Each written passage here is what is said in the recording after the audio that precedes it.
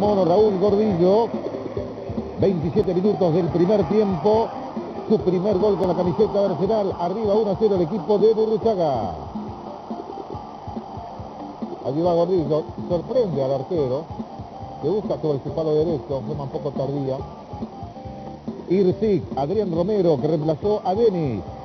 Romero, nombre de libres. 38 minutos, 2 a 0. Arriba Arsenal.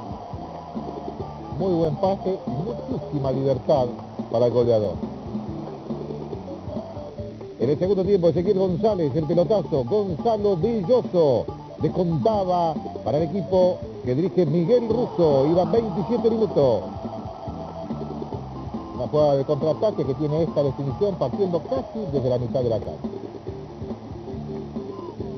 Virayonga, Gordillo es el que va a meter el centro y Cristian Gómez que había ingresado por Romero marca el 3 a 1 definitivo para Arsenal sobre Central.